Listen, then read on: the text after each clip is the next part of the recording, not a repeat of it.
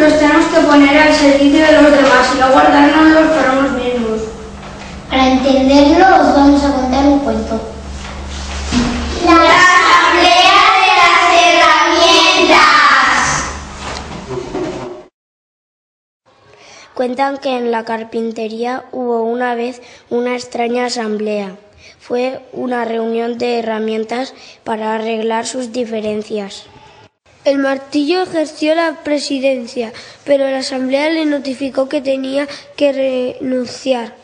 La causa hacía demasiado ruido y además se pasaba el tiempo golpeando. Acepto mi culpa, pero pido que también sea expulsado el tornillo. Hay que darle muchas vueltas para que sirva de algo. Ante el ataque, el tornillo aceptó también, pero a su vez pidió la expulsión de la lija.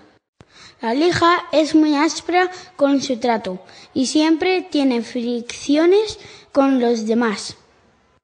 Y la lija estuvo de acuerdo a condición de que fuera expulsado el metro. El metro siempre se las pasa midiéndonos a los demás según su medida como si fuera el único perfecto. El metro enfadado contestó. ¿Y el serrucho qué? En eso entró el carpintero, se puso el delantal e inició su trabajo. Utilizó el serrucho, el martillo, la lija, el metro y el tornillo. Finalmente, la tosca madera inicial se convirtió en un lindo mueble. Cuando la carpintería quedó otra vez sola, la asamblea reanudó la deliberación.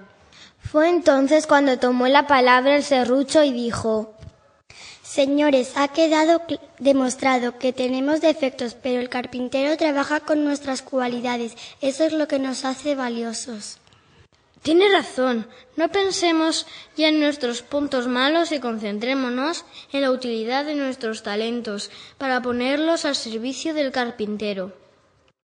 La asamblea encontró entonces que el martillo era fuerte. El tornillo unía y daba fuerza.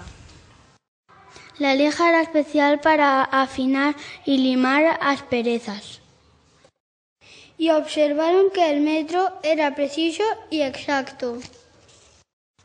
Se sintieron entonces un equipo capaz de producir muebles de calidad.